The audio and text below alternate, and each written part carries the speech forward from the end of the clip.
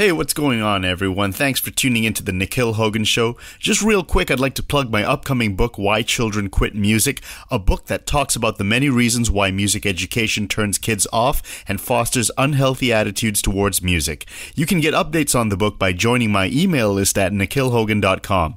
Also, if you're a fan of the show, do consider becoming a supporter on Patreon for free goodies, music tutorials, and access to our private Facebook group. Thanks again, and let's get to the show. On today's show, I'm so thrilled to talk to one of the most important music educators around, the great composer and music expert, Dr. Robert Greenberg. We talk about his early years in music, his training in music composition, many interesting perspectives and anecdotes on music history, his stellar work on the great courses, his music, and so much more. Stay tuned. You're listening to The Nikhil Hogan Show.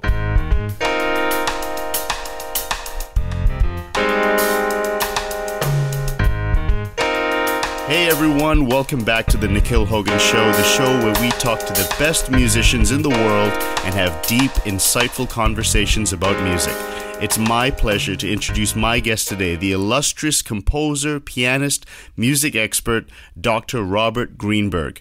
Dr. Greenberg has composed over 50 works for a wide variety of instrumental and vocal ensembles, and his works have been performed all over the world. A Steinway artist, Dr. Greenberg has also received many other honors, including three Nicola de Lorenzo Composition Prizes and a Koussevitzky Commission from the Library of Congress. He has been profiled in various major publications, including the Wall Street Journal, Inc. magazine, and the London Times. Dr. Greenberg is popularly known for his over 550 lectures recorded for the esteemed education company The Great Courses, including popular courses such as How to Listen to and Understand Great Music, How to Listen to and Understand Opera, Great Music of the 20th Century, and many other great ones. Dr. Greenberg, it's so great to have you on the show for the first time. Thank you so much, Nikhil. Well, you know, you come from a musical family yourself. Your grandmother graduated from the New York Institute of Musical Art, which eventually became Juilliard. Eight years later, eight years after she graduated. So she was very proud of that, and she lived in New York and got a lot of mileage out of it for the rest of her life. Did she know? I mean, in New York City, wasn't that like a haven for classical musicians at the time? Well, it's always been a haven for classical musicians, but particularly in the uh, in the four or five years after she graduated. She graduated in 1916. And of course, the, uh, the Russian Revolution began in 1917. And a tremendous number of so called whites, uh, those um, people associated with the lesser nobility or the aristocracy, had to leave, had to get out. Uh, their lives were in danger. And a great number of them came to the United States. And so, just like what happened, uh, I'm, I'm talking here from San Francisco, just what happened in San Francisco in 1990, 91, when uh, the Soviet Union disintegrated and we suddenly filled up with all of these extraordinary Russians who were desperate to get out. So that happened, I think, in New York in 1917, 18, 19. A tremendous number of Russian uh, expats ended up in the United States, including her personal hero, Vladimir Horowitz. Uh, Heifetz uh, came to the United States at that point. Uh, Milstein, another great violinist, yeah, a whole generation came over. And of course, you know, New York was always the the capital of our country, whether we like it or not. So she knew a lot of people. Uh, she knew a, con- a composer named Howard Hanson, who turned out to be the uh, president of the Eastman School for many decades. Uh, she studied with a pianist named Josef Hofmann, who is wow. a very, very famous Polish. Oh my pianist. gosh, these are yeah, yeah. She, she, you know, I mean, but those were the times. Those were the times. The the the, the pool was much smaller. And um, I mean, the general population pool. Let me ask you, Dr. Greenberg, about Josef Hofmann. Now, he was a small person, or he had small hands. Did that, and that didn't stop him? It never stopped anybody at the piano. Did, have you ever seen Alicia de Larrocha play? Alicia de Larrocha is, a, as you might guess, a Spanish born pianist. She died about 10 years ago, would be my guess, without you know, referring to it she could play anything. I mean, I heard her play the Emperor Concerto uh, in concert. But her specialty, I mean, her amazing specialty was Spanish music, including Iberia by Isaac Albéniz, which is one of the most difficult pieces to play on the planet. 12 uh, character pieces, which are impossible. They're impossible. In fact, he was going to destroy, he said he got so depressed he was going to destroy the manuscript because no one could play this, and he was a fine pianist himself.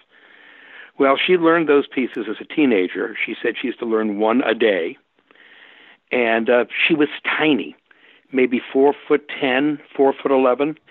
Uh, they'd have to put blocks, wooden blocks, on the pedals so her feet could reach the pedals, and she had these itsy bitsy, stunted little hands. And I'll tell you, her recording of the Albéniz is a miracle. Her recording of the Schumann Carnival, which is filled with tenths, it's a miracle. I don't know how she does it. She rolls her hands in different directions and so forth, but you can't hear her breaking the chords. So you know where there's a will, there's a way. Right. Now, that's an astonishing background. What a pedigree that you have. You started very young as well, right? Yeah, unfortunately. You know, it was something that we were all in my family expected to do. My grandmother spent uh, 50 years teaching the kids of Queens, New York, uh, piano.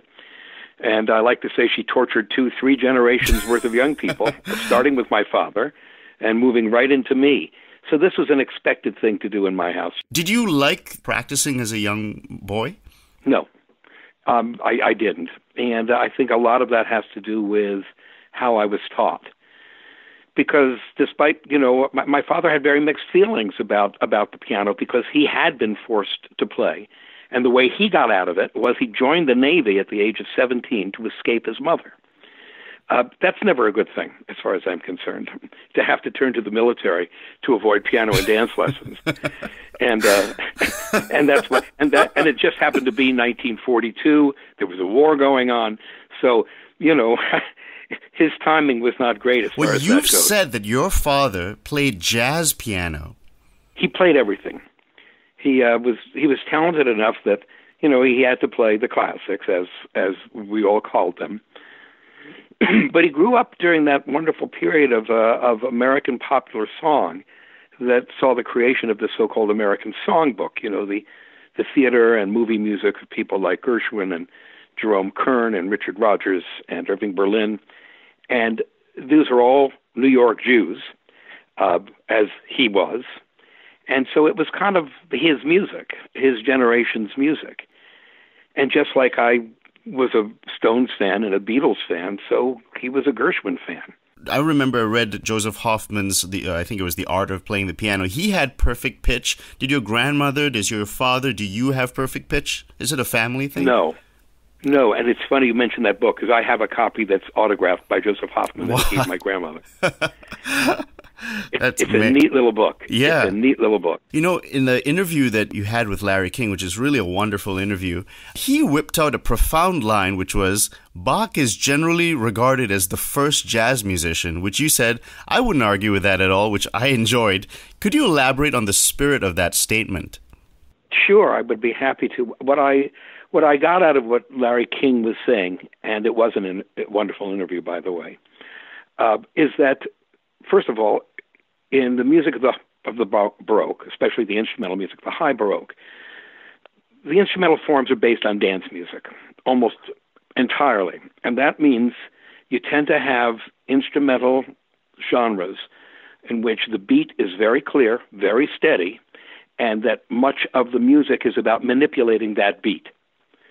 Second of all, there's a huge emphasis on improvisation in the age of Bach.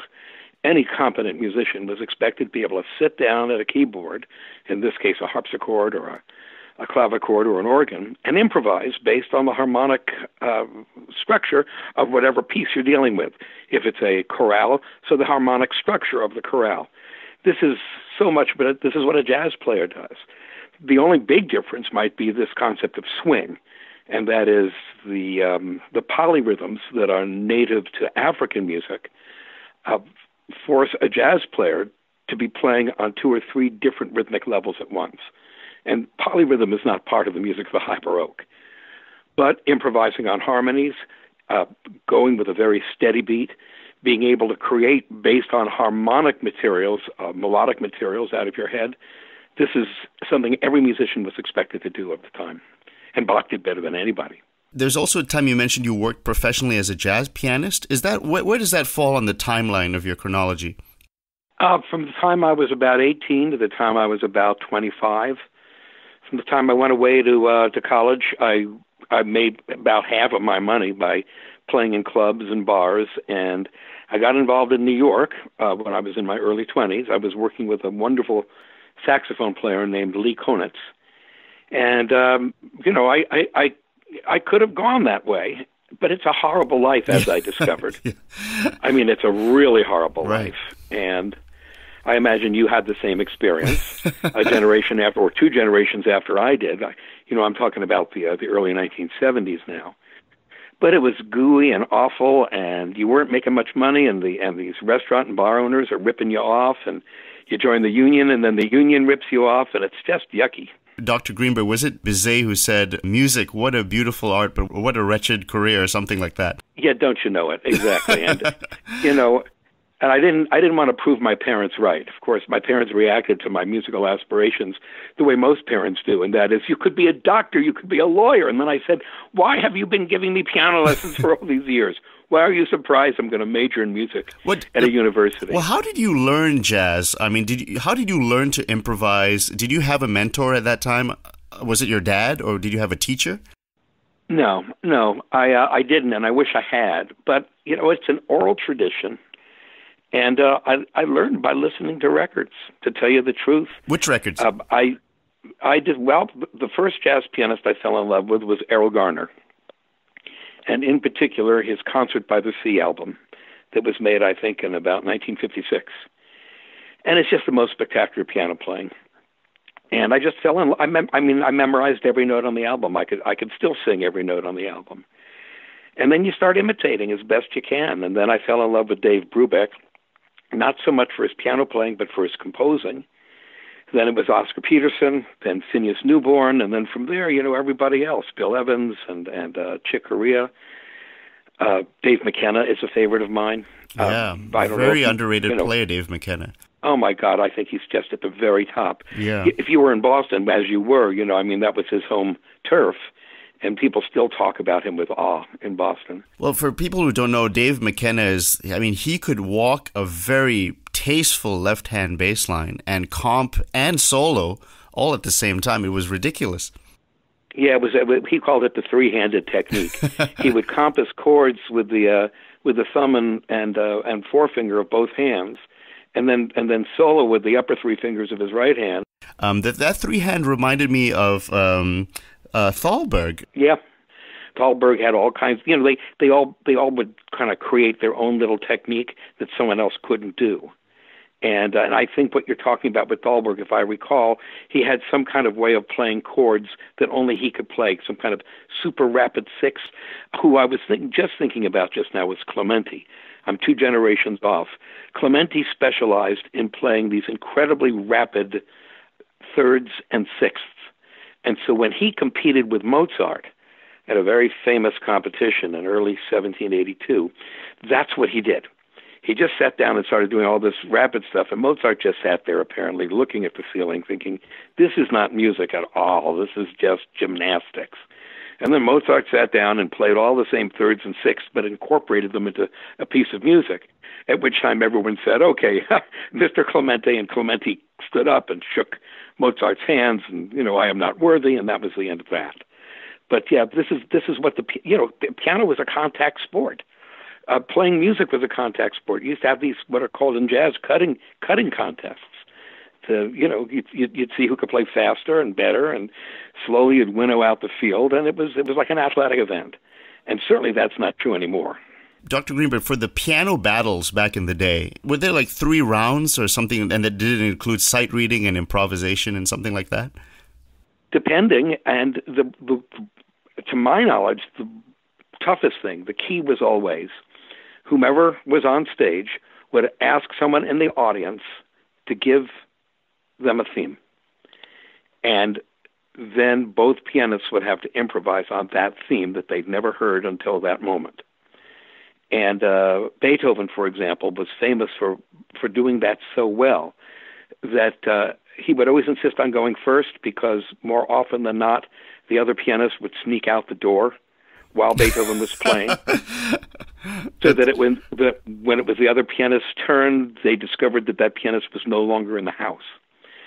So yeah, there was all kinds of stuff that was involved in uh, in this in this kind of thing. You know, when Mozart was a kid, they they put a sheet over the keys, and uh, and you know, if you're not a piano player, that sounds very complicated. But of course, as we all know, you don't have to be seeing the keys to play.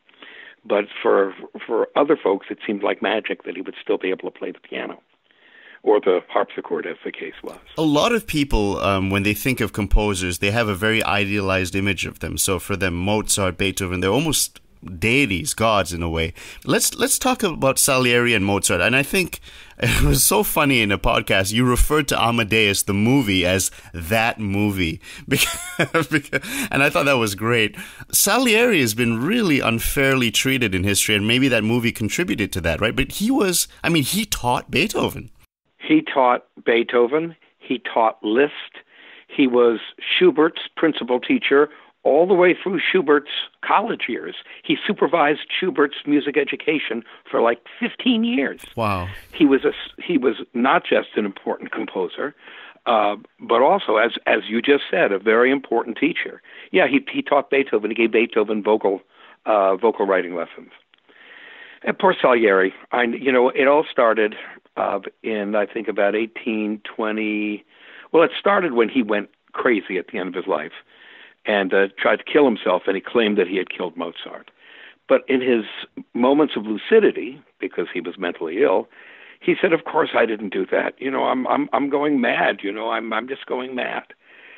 But it, the the problem, the big problem, was in the eight, late 1820s. Um, Alexander Pushkin, the great the great Russian writer, sat down and wrote a one-act play called uh, Mozart and Salieri, where he speculated that um, Salieri killed Mozart because Mozart was an idiot who could do this one thing, and Salieri, who had dedicated his life to music and to God, felt that he was just a mediocrity and and that God had cursed him, and the curse was this Mozart. But it was just uh, it was just um, a metaphorical play. Mozart isn't even a person in the Pushkin play. He's just the one thing we all fear the most, and that is that someone is going to prove us to be frauds. It's going to prove us to be that untalented, uneducated, unintelligent person we all fear we might be.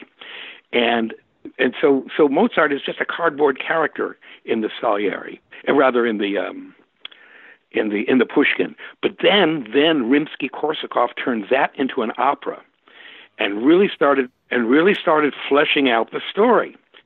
And then Peter Shaffer wrote a Broadway play, and the original name of the Broadway play was Salieri, because again, it's about Salieri. It's not about Mozart, but he changed it and called it Amadeus. Then he fleshed it out, and then he wrote the uh, the script for the movie. And and then Milos Forman, the director, had to further flesh out the character of Mozart. So by the time you get to the movie, you have the untruth of the story, but projected in such a way that it seems like it might be possible. So that's why I call it that movie. I have to say, I'm asked crazy questions. and among, well, but you know, I'm out there a lot, Nikhil, and people ask me questions. And among the questions I'm asked of one of the most common questions I'm asked, although not so much anymore, but certainly 20 years ago, every day, um, is is Amadeus accurate? Is that movie accurate? And then, of course, you have to say, no, it's great entertainment, but it's crappy history. And people would be so disappointed. I say, what do you think's going to happen when they make a Hollywood movie? Excuse me once you, I would say, Disneyfy a person, Mozart becomes this like a, cartoon character. But there's a quote in a letter where he said that, you know, I've worked really hard, I've studied everyone, and, you know, this didn't come so easy to me. It appears that way, but I really worked hard at this. Yes, he did. He worked like a dog.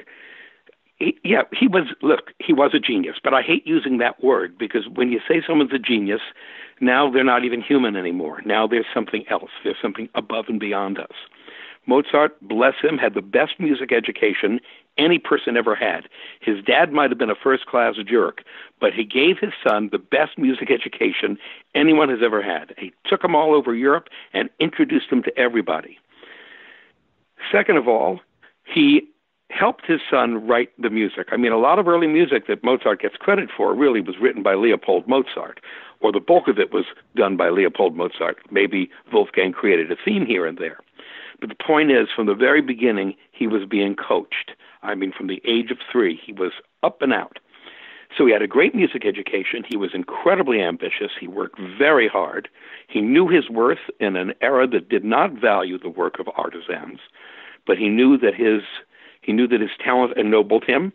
He didn't allow that talent to be squashed by the Archbishop of Salzburg or his father.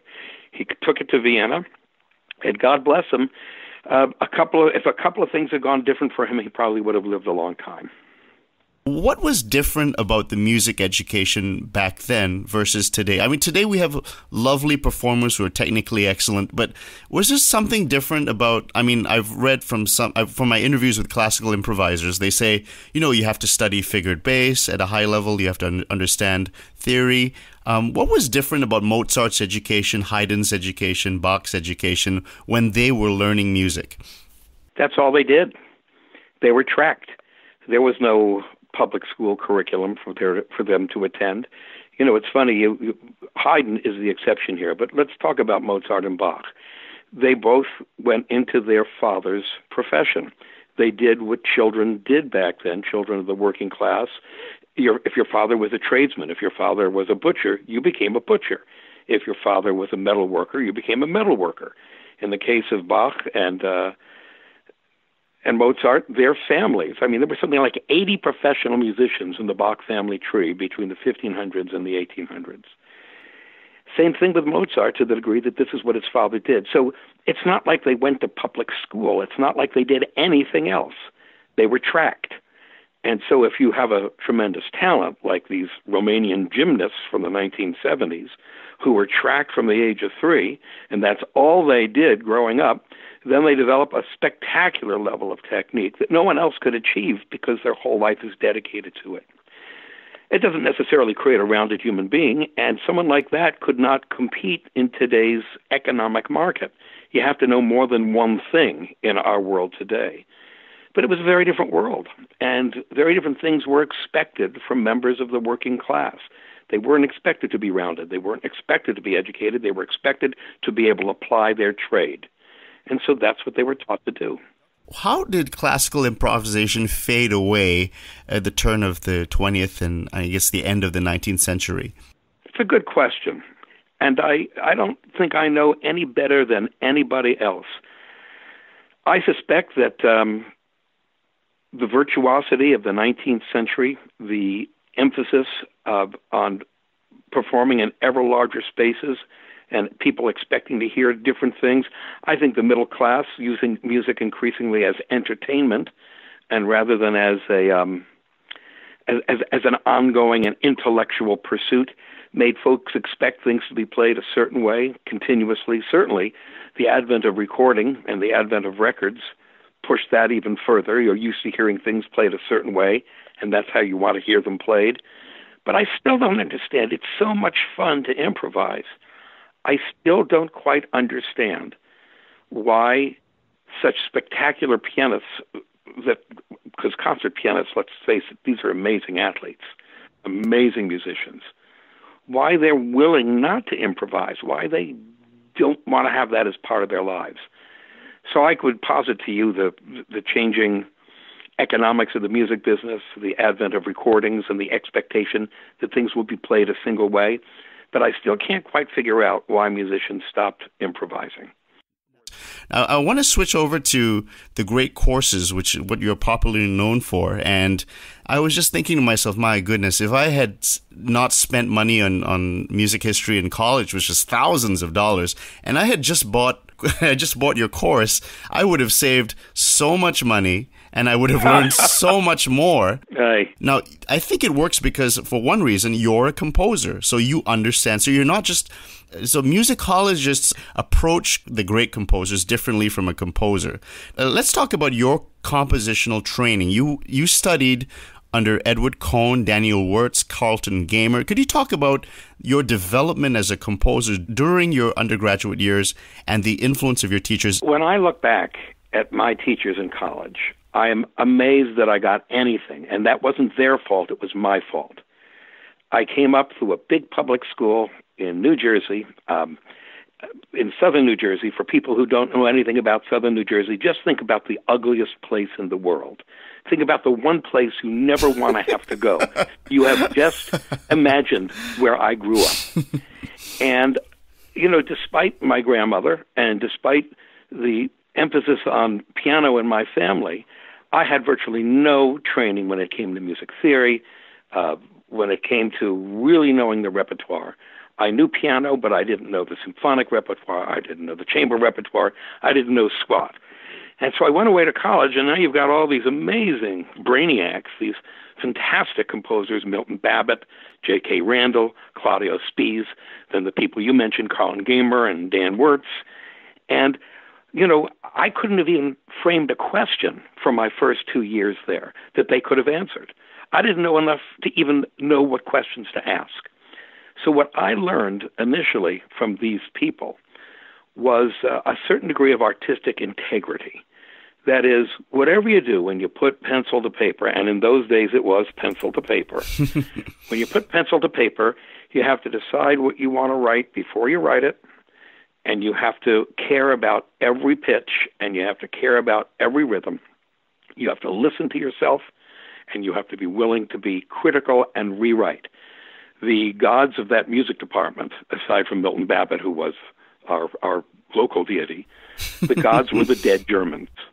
The dead Germans, you're talking about Bach and, and Haydn and Mozart. I know they were Austrian, but they were German speaking. And Beethoven, and especially Brahms, especially Brahms. And what made them the deities is that there was never a wasted note. Nothing ever done purely for affect. Everything should be explicable in terms of its theory, and it should sound good, which means rewrite, rewrite, and rewrite. That's what I got.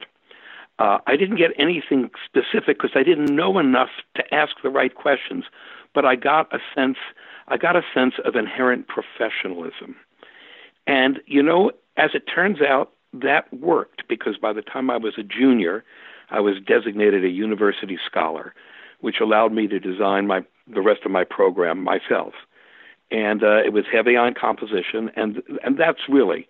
By the time I was a junior, I, I started to speak the language, and by the time I graduated, I was speaking the language. And then, before going off to grad school, I taught high school for a couple of years and continued taking lessons with faculty so that you know i was i was a late bloomer in that period, what was the trend in um, musical academia? I, I, from a previous interview I had, there was a trend towards, I guess, serialism and, and dissonance. Uh, was that part of your training? Uh, it was not. It was never part of my training per se, and thank goodness. Uh, all of the composers I just named, with the exception of Edward Cone, were all ultra serialists which meant that virtually every aspect of their music was uh, preconceived uh, via various formula. Milton Babbitt somehow made it work into music. I don't know how he did it. somehow Babbitt's music still sounds like music.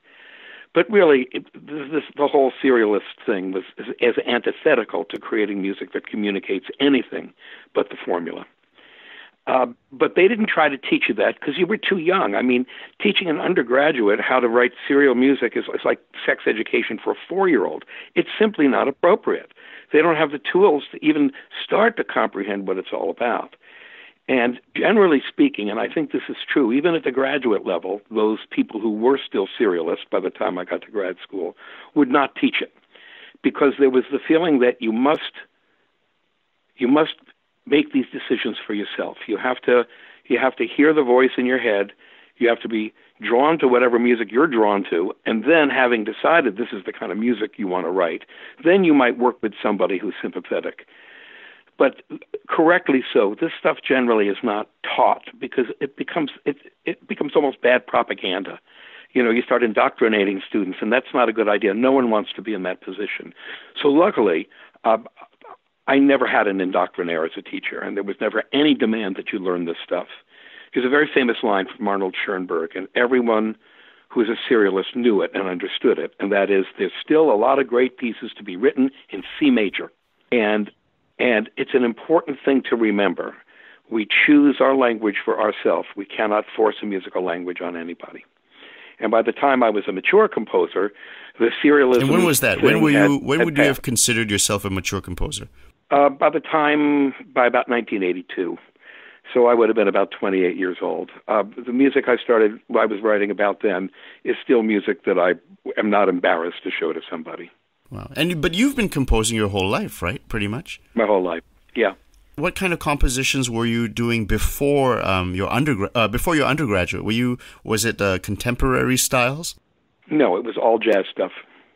All jazz stuff. What did your teachers think of, of that when you went into Princeton? They didn't. I never showed it to them. I just, I just, I just didn't show it to them. Did you see any parallels in your training at Princeton with what you had organically done for yourself? Uh, again, I didn't know enough. I, I can't answer that because because the work I did as an undergraduate was the kind of grunt work all undergraduates have to do: counter, species counterpoint, counterpoint, harmony, canon, fugue. Um, you go through the Percy Goetschius is what I did. The Percy Goetschius books on, on on musical form, which were written in the early 20th century and are still very excellent. You know, you learn how to write a theme and variations form movement. Then you learn how to write a minuet and trio. Then you learn how to write a scherzo. You learn how to write a rondo. Then you learn how to write sonata form. So really, this was not free composition. It was it was learning. Uh, it, it was learning technique, learning how to push notes around learning how to balance harmony and melody, which is, of course, the key in Western music and what makes Western music so different from most other world music traditions is that you have this constant conflict and and simpatico between these simultaneities, the science of harmony, and between linearities, the the existence of melody, and then trying to balance them through this use of counterpoint or polyphony. And you know, it's it's hard to learn how to do that and then to come up with a language of your own. It takes a long time. So I have to say as an undergraduate, I wasn't grappling with any of these big issues. It was just trying to trying to gain some some mastery of the syntax. And that's I think what undergraduate years are about for a lot of people unless you started young and were trained young. But as I said before, I didn't have any training going in. So you went to the University of California, Berkeley, and there you earned your PhD in music composition. Your principal teachers were Andrew Imbrie and Olly Wilson. Could you talk about your experience there and, and working with those teachers, and what did you get out of the, that experience? Well, it's an entirely different experience, you know, night and day between undergraduate and graduate. As I said before, I took two years off, uh, which I think, by the way, is the smartest thing I ever did in my whole life was not go right away to grad school out of undergrad, but instead dealt with the world, uh, got to be a better piano player, kept my lessons going, and then when I went to grad school, I did it because I wanted to, and not kind of as some knee-jerk reaction because this is what I got to do next. By the time I got to grad school, I knew kind of what I was doing, and I was able to write real music. Excuse me, I was able to write real music from the time I arrived. And uh, the way composition is taught at that level is that uh, you know you're in your pro seminar uh, with two or three other composers and as one of your classes, and you just write. You decide what you're going to write. Uh, the first thing I wrote when I got there was a, uh, a, a, a fantasy variations for uh, chamber orchestra, and you, you finish it as quickly as you can. You know, in this case, that piece took me about four months. Every week, you go in to the pro seminar, and and the, the students play what they've written that week and you discuss it with the professor. If you got a good composition teacher, which I had in Olly Wilson and Andy Imbrie, then you have uh, people who can divine what they think you're looking for and can help you find it. If you have a crappy composition teacher, which I did at UC, someone who I'm not going to name now because he's still alive, God bless him, um, these people crap with your brain and and mess with you and make you feel like you're an idiot. Well, specifically, what were you working on musically? Um, how did they shape your compositions? And could you give an example of the commentary they would give on your work? They didn't shape it. What they would do, and this is what a great composition teacher has to be able to do. The teacher has to be able to divine what he or she thinks you want what he or she thinks you're after and has to be able to coach you and say, now, have you thought about this? Or maybe, maybe Andy Imbrie was someone who would get down and dirty with you. He'd say, listen, this is a lovely theme, but, uh, but the second phrase is too short. This is truncated. And he'd improvise something at the piano and say, are you hearing what I'm hearing here? We need we need a little more time for these ideas to develop before we can go on. So so that would be a very specific thing to address. Other things would be, listen, what are, what, are, what's the dialogue you're creating here? Is this a piece of music in which there's an ongoing variational process? Are you interested in contrast? And if the con- if you are going to introduce a contrast, what sort of contrast do you want? What kind of story are you telling? How high a drama level do you want to create? Then, from a purely practical point of view, I still remember going into a lesson with Olly once, and I had a I had the beginnings of a piece of music. It was a trio and uh, and I'd written mezzo piano in the first measure. He says, "What does that mean?" I said, "It means mezzo piano." He says, "What do you mean it means mezzo piano?" He said, "I know it means mezzo piano. What do you think the player's going to play?" I said, "Mezzo piano." He says, "No, the player's not going to play mezzo piano. Player's either going to play piano or forte because mezzo piano doesn't mean anything. It means middle piano. It's an entirely relative term. Yep. I said all dynamics are relative because, but some are more relative than others. He says, if you don't declare what you want, the player will play what he or she wants, and it will inevitably be not what you want. So there's there's a very good lesson. Another lesson I had once is I wrote an orchestra piece, and I still remember in the viola parts. At one point, it was a, I don't know, eight or ten measures of a sustained pitch, and I don't remember which one of my teachers it was, but the teacher just said, "You better do something with that." And I said, "What do you mean?" He says, "If you ask a string player to play a note for, I don't know, 16, 20 beats, and you don't change the dynamic, you don't put in a crescendo or decrescendo, you don't do something with it, they will. You cannot have those that many naked notes. And so this is just good practical education, you know, teaching you how to make sure you let the clarinetist breathe, how to make sure a singer can be prepared for the next pitch if it's a difficult pitch to find. You learn, you know, you learn the brass tacks. But uh, but, but the, the best teachers are the ones, just the way a conductor can divine how she wants a piece of music to go. A good composition teacher can divine what his or her student is thinking about, and then helps lead that student where the student needs to go, and can be a can be a cheerleader when necessary, and can be a critic when necessary, but always a benevolent one.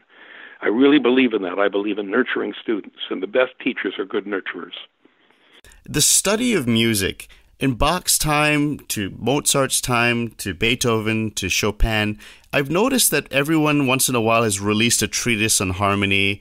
Tchaikovsky had some notes on harmony, uh, Paul Hindemith, Walter Piston. Um, but if if you looked at a book of harmony back in like say Mozart's time, does music improve linearly is all of that stuff still valid? And or are things like do we look back at stuff oh they just got that wrong? Or is it just or is it all still relevant today? I see the development of music uh, the music language two different ways. Expressively we are no better off now than we were 800 years ago. You know we're human beings. Uh, our arts our societies are cyclical. But our technology improves and to the degree that there's improvement in music, uh, the language has become more complex. There's more syntax available today. You know, we're not better than Mozart, God knows, but we have more syn- we have more syntax to draw on. And that's because it's cumulative. You can't avoid it. As soon as someone adds something new to the language, you have more words, more vocabulary in the language. So the grammar has developed. And I think that's what you're talking about. Let's say the grammar of harmony as it existed in Mozart's time. And by the way, as far as I'm concerned, harmony books are nothing but uh, cookbooks, they're just recipes and uh, all they do is is identify what happens when you put this, this, and this together. Ultimately, it's in the ear of a composer to to, to render this into real music. What's the best way to learn harmony, Dr. Greenberg? Uh, listen to a lot of music and then sit down blank. The same way we learn how to play jazz, we listen to music. Uh, you read scores, and then you sit down in front of your own blank page, and you and either you hear it or you don't. You know, it's it's terrifically hard, isn't it? I mean, how do I how am I supposed to know this stuff? You you have to know it.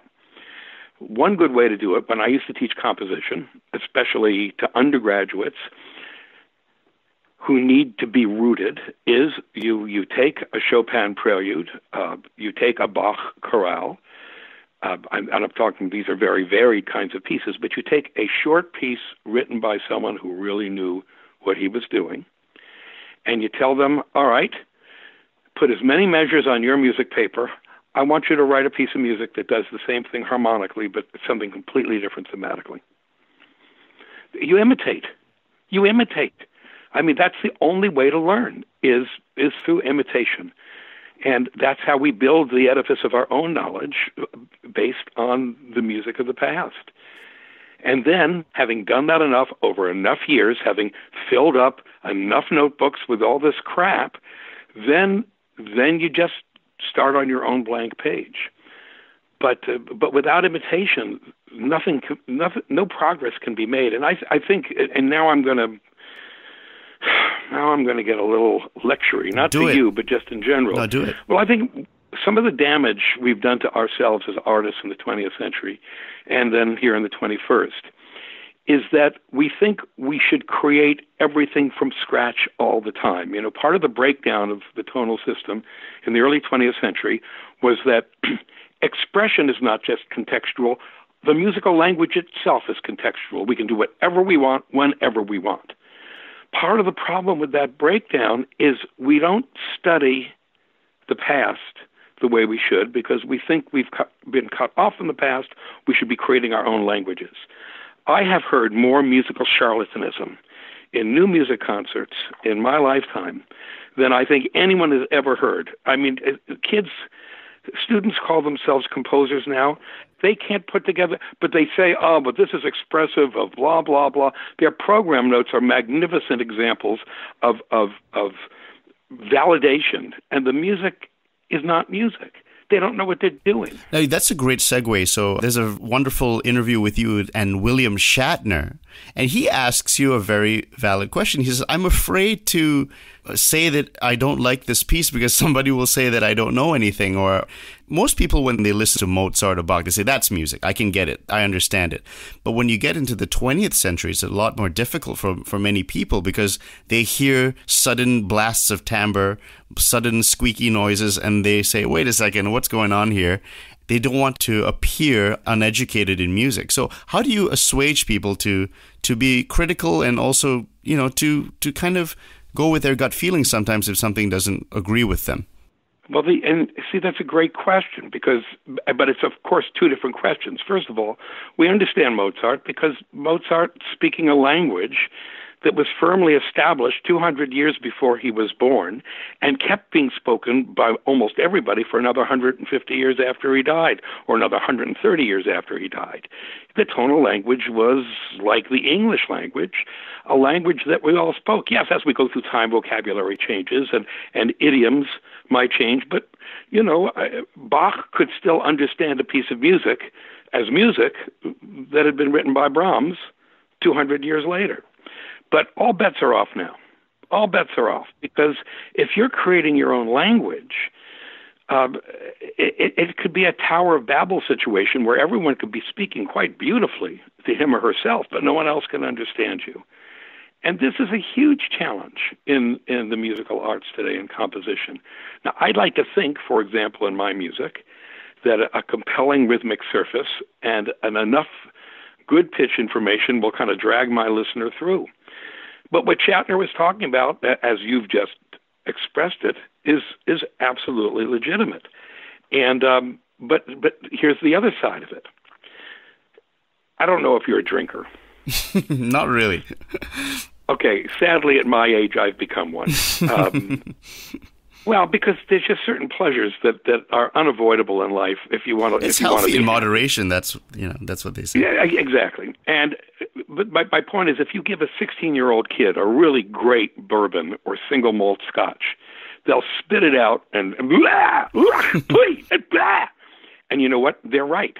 They're right. It is poison, and given that they don't know anything about it and that they're young and they can't they can't contextualize these tastes, all you all you taste is the yucky.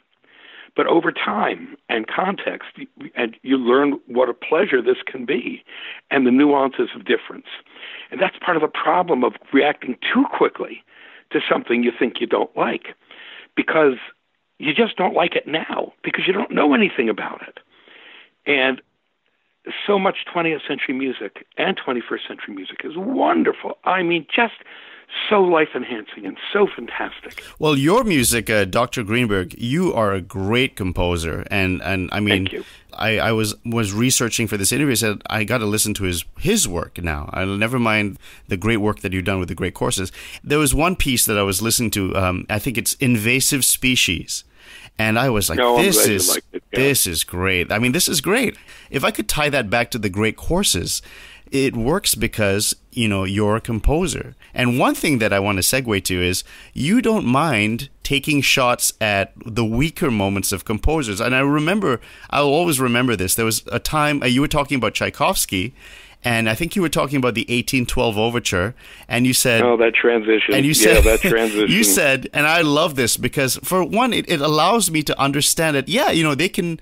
Not everything is is Disney. Not everything is perfect. You could actually have weaker sections in music, and you took him to task, and I like that. And I think it's only due to the fact that you're a composer that you would understand where things are effective and where things are not.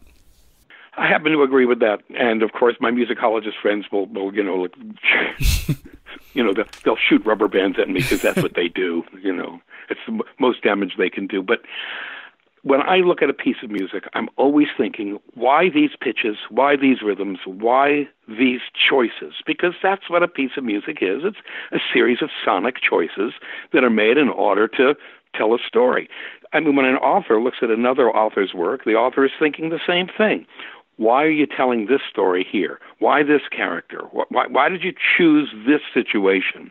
Because these are the questions you ask ultimately to A, understand what's being done, and B, figure out if there's anything worth stealing for your own work. Because we're all, listen, it's all petty larceny all the time, you know, and yeah. we're always on the lookout for something to, to slip in our pocket and take home with us and use everyone takes from everybody. I mean, it's the oldest line in the book that it, uh, is it is it talent borrows and genius steals. That's what you have to do. You know, you asked me before what you do. I, I said you take a Bach, a Bach chorale or a Chopin prelude, and you write one of your own using using the, that composer's harmonic progression. That's how you do it. You incorporate what's been done, and you get enough vocabulary until you can start doing your own. You know, I'm, I'm, I have to say, I'm very happy when I, I, I hate prodigies, by the way. I don't believe in prodigies. I, under, I understand that prodigies can be performers. But guess what? As far as I'm concerned, there's never been a 16 year old novelist who wrote a great novel. And for all of the talk about these little children who write operas and these little children who do this and that, it's all entirely derivative. They're simply using someone else's language, someone else's stuff, and figuring out a way to to blend it together into some kind of musical smoothie that they can then pour in a glass and claim as theirs. And I think that's fine. That's how we learn. But I think that the public overreacts to these children who can do things like that because real creative work doesn't happen until you've mastered yourself. And we don't master ourselves until we have at least gotten enough life experience to get through puberty and preferably a little longer. I just want to end off with a couple of really fun, fast questions, and let's just do like rapid fire. So let's really do this. So, name your top three pianists. Oh, you're asking hard questions. three, just three. Maurizio Pollini, Martha Argerich, Argerich and oh, I love them all, dude. Uh, all right, Maurizio Pollini, Martha Argerich, and Garrick Ohlsson. Top three jazz pianists. In no particular order: Dave McKenna, Chick Corea, Oscar Peterson. Okay, uh, top three 20th century composers. Stravinsky, Schoenberg, Bartok. Top three romantic composers. Mahler, Tchaikovsky. Oh, there's so many to choose from. Schumann. Okay. Uh, no, no, no. Stop. Stop. Hold the presses. Mahler, Brahms, Tchaikovsky. What's your favorite instrument to write for? Piano. Favorite orchestral timbre instrument? Don't have one. Virtually impossible. Impossible to say. Favorite format to write for? Chamber music. Any particular organization? I, again, this is where I am right now, where my head is right now. But I'm I'm really enjoying writing pieces for piano, and some combination. So whether it's a piano quintet like Invasive Species, which you just heard, uh, a piano a trio, which I just finished and will be premiered in April. I really enjoy writing for strings and, or winds and piano. If you could get any composer, alive or dead, right now in a room and just have coffee or a drink with that composer and talk about music, and you could ask them questions for an hour, who would that composer be? Mozart, Mozart, and Mozart. And uh, what would you ask him? I'd ask him, will you, first of all, how do you want your martini? you want it dry, you want it wet, you want it dirty, do you want olives, do you want a twist? He would be the happiest person in the world. I would say, how would you like to try and play a big piano? Because I have a Steinway D in my studio. Yep. uh, I mean, you know, I would just, I would, the guy was a great raconteur. He told a wonderful joke. He, of course, would sit down and play for as long as you wanted him to. His English was impeccable. He spent a lot of his childhood in London and was excellent with languages. So I would just hang. I, I would just hang with him and I just let him talk. I just think being around someone like that, you don't even have to talk about music. Just the way he the way he perceives the world, the way he would address. I would love to see the way he would address the keyboard. Yeah. You know what his hands would look like when he put them on the on the keys anything. I, you know, I don't think you need to talk about music with anybody to get an amazing musical education from them because music's an extension of the person. So I would just, I would just love to be with Mozart. Okay, for people interested in your music, Dr. Greenberg, can you recommend three works for them to start with? Well, the works that I would recommend are the ones that could be seen on YouTube, of course. So there's a piece called, as you said, there's Invasive Species. Uh, let me see. There's a piece called um, what is that called? I forgot the name of it entirely. Oh, you see, you, you put me on the spot, and I've got to remember. There's a piece called "Funny Like a Monkey," which yep. is a piano quartet. Uh, there's a piece called "Lemurs uh, Are Afraid of Fossas" for cello and piano that I was really happy with. And I think uh, let's end off with this final question. You told Larry King, you said music of the last 250 years is frankly contemporary music. Can you elaborate on that sentence? My dad, God bless him, just passed away last year. He was 92 years old. So, three of my father's lifetimes back to back. Someone's born, they die, born, die, born, my dad, okay? So, three times 92 is 276 years. That's three consecutive human lifetimes. 276 years ago, it was 1743. In 1743, Johann Sebastian Bach was hard at work in Leipzig writing his Goldberg variations. He, at that time, would have been 58 years old. In 1743, uh, Haydn was 11 years old. George Washington was 11 years old and presumably chopping down cherry trees. In 1743, Mozart is not going to be born for another 13 years. And in 1743, Beethoven's mother, Anna Magdalena Keverich, had not been born yet, three lifetimes ago. And it encompasses virtually the, the entire repertoire as we understand it. This is all contemporary. This is all stuff that happened yesterday, not just by geologic standards, but even by human standards. And the people of those days were just like us. So, this tendency in our world today to think we've cornered the market on on change and on contemporary.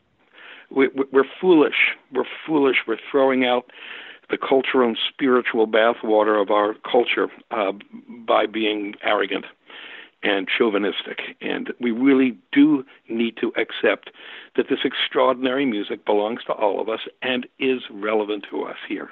And I would say if you want an introduction to this contemporary music, please go and check out Dr. Greenberg's the great courses, all his lectures. I mean, that's what you give. I mean, if you if you have kids, I mean, don't I would say before you force them to take piano lessons, buy this and let them have a good time and enjoy it because There's no stress. You get to enjoy all the great music, and really the analysis is spot on. It's insightful. It's from a real composer who's telling you about other composers. He can explain the music to you that's in an accessible way, and it's also very high level too. So it, it goes anybody who's a beginner can understand it, and even someone who's advanced will get plenty out of it, and it'll cost you way less than spending thousands in a in a call. I mean, I've learned that lesson. So I have to say, the highest compliment I can be paid is when a fellow musician says, "I got a lot out of this." And the best mail I get, and I do get mail. I get mail from from conductors and from musicians. I mean, uh, you know, it's David Finckel, the the cellist who played in the Julie, uh, rather in the Emerson Quartet for a million years. Uh, we became friends because he loved my courses. So you know, that's the most gratifying thing of all when fellow pros say, "I can get something out of this." Uh, by the way, Dr. Greenberg, any uh, is there a project you want to plug for 2019 that you've been recording or anything? Well, I would like to plug a couple of things, if I might. Yeah, go ahead. I, I would love I would love you to let everyone know that all of my courses are for sale uh, for download from my website. I've partnered with the Great Courses, so I'm a selling agent of all my own courses. and on my website, you can get a lot of information about them. You can sample them. And if you buy them from me, you get all of the written materials as well. If you buy them from Amazon, you do not. And I would also mention to you that I'm now blogging and reviewing and vlogging two to three days a week on a platform called Patreon. It's a subscription platform, so you know you have to sign up for a couple of bucks a month. But um, I'm doing. Uh, this is where I'm putting a lot of my energies right now, and uh, I would say I'm posting between three and five thousand words a week and uh, I'd like to make that more of my future. So it's worth checking out. I think my address is it's patreon.com slash Robert Greenberg Music. And I would ask you to check it out. Well, the great Dr. Robert Greenberg, everybody, check out his Patreon and check out his work on the great courses and his original music. I highly recommend it. Dr. Greenberg, thank you so much for being on the show. Thank you, Nikhil. Thanks so much for listening to my interview with the wonderful Dr. Robert Greenberg. Truly one of the most important music educators around and a really fantastic guest. Please consider supporting the show on Patreon and sign up to my email list on nikhilhogan.com for updates on my upcoming book, Why Children Quit Music. I really believe in this show and I hope you can share these interviews on social media so that we can get more attention and attract more great guests. Thanks again for listening and I'll see you at the next show you